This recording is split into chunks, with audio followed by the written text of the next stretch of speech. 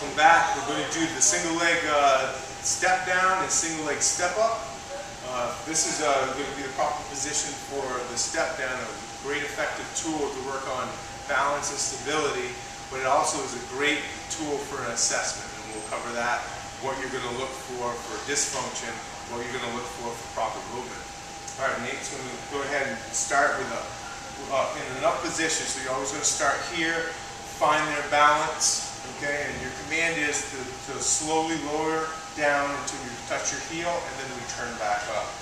There you go, and then come back up. What I want you to do, Nate, I want you to touch that heel like this is all water, and you're just making a ripple, okay? You're not going to transfer any weight. Good, and we turn up, and you're not going to touch the foot back to support. Let's it again. This is all balance, all single leg balance, and up. Good. Hip, posterior hip shift. Go ahead, up down, do you find that balance, touch, and come back up. Don't wake that foot now. We'll give you one more chance. Here we go. Touch and up. There you go. That again. The slower you go, the harder it is. Good. And one more time. Perfect. Excellent job. And you can rest right here. All right, so from a dysfunction standpoint, uh, from, from a functional standpoint, proper position, you want to have that knee in line with your foot, in line with uh, their foot and their hip. You don't want to deviate. If you see this happen, okay, that's a bad angle of the knee, a lot of stress on the knee. The hip comes out to find uh, more stability, and there's probably a hip problem along with lack of support in the foot where you go into hyperpronation. So it goes right back to that short foot position where your big toes press down, foot's in a neutral position, weight on the outer aspect of the heel, so the knee can track in the sagittal plane, flexion and extension and the hip is going to go through flexion and extension and eliminate or try to control ab, uh, ab, adduction or frontal plane movement of the hip. I'll have you go, Nate, to uh, step down laterally. Face that way.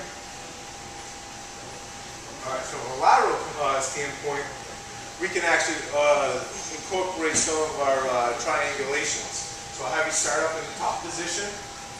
All right, and I'm going to command a foot posterior foot reach, heel touch. Go ahead and drop your foot down, heel touch, and come back up. Now that's going to drive more uh, hip hip motion into flexion. Again, that friends in if we talked about the glutes being the friend. Go ahead and do that again for me. Good hip flexion, minimal knee involvement. Of course, the knee is still involved. All integrated movement's going to involve it, but a little less. A little less dorsiflexion involved. Come back up. Now as we go to a lateral step down along the lateral vector, in this case it's going to be uh, heel touch at R90 because this is his right side. He's going to touch on that vector. Tripod poses underneath this foot. All right, go ahead and drop down, heel touch. Now he's forced to go into more knee flexion, anterior excursion of the knee, and dorsiflexion. Still hip involving the hip. Come back up. Give me another step. Rules apply, as we saw straight on, the knee has to track right in line with the foot and then the hip. And then go straight, eh? come back up. Spinal alignment, very important obviously. Go ahead drop down again. Good. We want to make sure that this does not happen. Flexing from the spine, initiating from the spine to get back up. We want to move through the lower chain. Come back up. Good. Now, Nate, give me an anterior uh, heel touch Just forward, there you go. Obviously much, much tougher, more excursion of the knee, greater knee flexion, greater dorsiflexion, hip still involved, still the spinal curves. We come back up. Much tougher, isn't it? All right. That's going to emphasize more the quadricep, but you got to make sure that the, the ankle has enough motion to do that. And obviously a, another vertical tweak is how high they're going to step down. They can start from one inch to on up to a bench. Okay, so that's another tweak of our, our verticality. All right, you can step down. We're going to wheel over the bench here.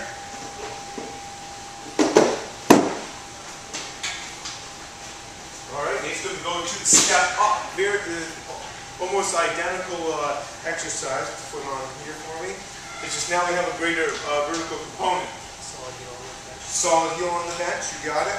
Now on this one here, the alignment still applies. The spine still applies what you're going to do is try to uh, come up on a fixed knee. So you're gonna raise yourself up over a fixed knee. Good, good. And bring this leg right up to 90.